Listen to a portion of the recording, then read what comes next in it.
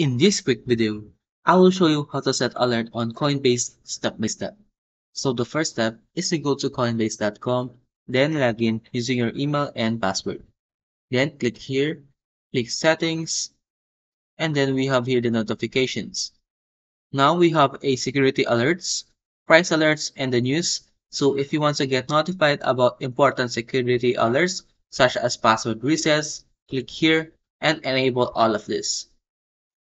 Then, if you want to get notified about material price changes for assets on your watch list, you can click here and then enable all of this. Note that the Coinbase may not provide alerts for all assets, meaning that you will only get a notification on your watch list. Now, the difference between these three is that the push notification will notify you even if you don't open your app. The in-app notification will notify you after you open the app.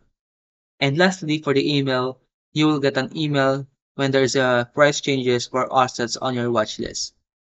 As for the news, you can get notified about the week's top crypto news story by clicking the push notification and the in-app notification.